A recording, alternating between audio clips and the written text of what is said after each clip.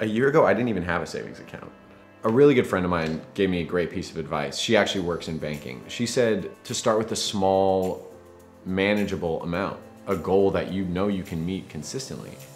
And that will build your confidence and really teach you to start thinking about your money and, and where it's going and how much you need.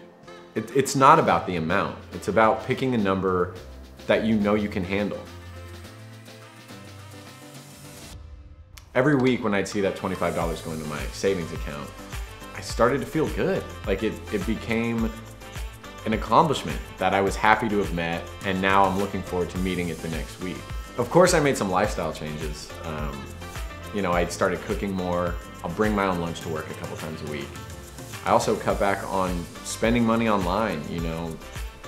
The ads these days know exactly what I want. Now that I'm saving, I know a little bit more about where I don't need to spend. So fast forward a year now, present day, here we are. I've kept this streak going for 52 straight weeks and it feels awesome. And I recently just got a promotion, which means I'll have a little bit more money coming in every month. And now I'm excited to add that towards my savings. I can feel comfortable increasing the number.